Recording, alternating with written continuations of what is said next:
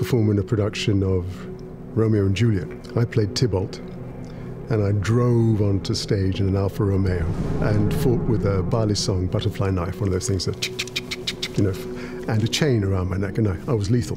And one of the reviews that we got was it suggested that there were enough black faces on stage to cause a mini race riot in Verona. I'm not really a method actor. For me, it's a composite, you know, just building bricks. You have to be both subjective in the sense that you've got to inhabit your character.